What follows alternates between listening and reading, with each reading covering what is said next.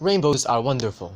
They're literally colors flying in the sky. It is fundamentally stunning, yet it's underrated and underappreciated by us. Some do appreciate this phenomenon, while others don't seem to care much. We've been taught in school that this awesome art contains all the possible colors in the world, but with a simple glance at it, it is clearly noticeable that a lot of colors are absent. Where's white for example, and where's black? Where's brown, and where's pink?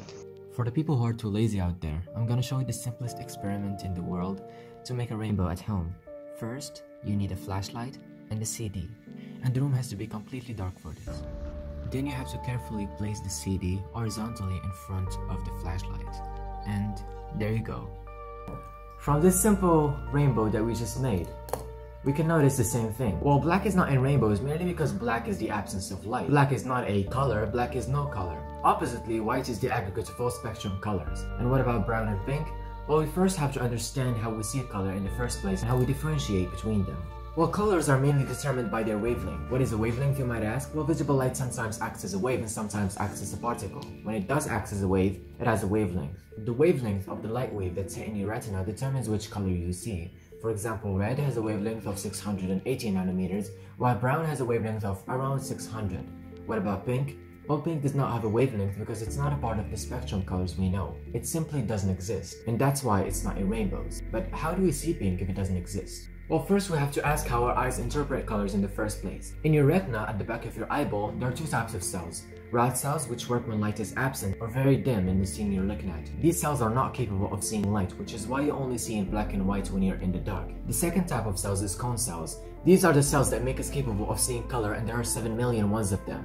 There are three types of these cone cells, ones that are sensitive to red, others to blue, and finally green. When a light wave reaches your retina and the green cones light up for example, it means you're seeing green, and the same for blue and red. But what happens when you see yellow for example? You have no yellow cone cells, so your red and green cones light up.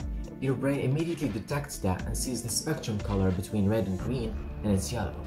And we can see that from this simulation. It is called SimBucket simulation and when we activate the red cones and activate the green cones, we get yellow.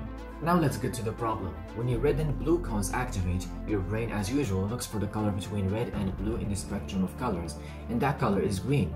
But the green cone cells don't detect any green light at all. In this case, and in order to solve this paradox, your brain creates and imagines a new color, pink. And we can get this from the same simulation as well. When we have the red cones and the blue cones activated, we get pink.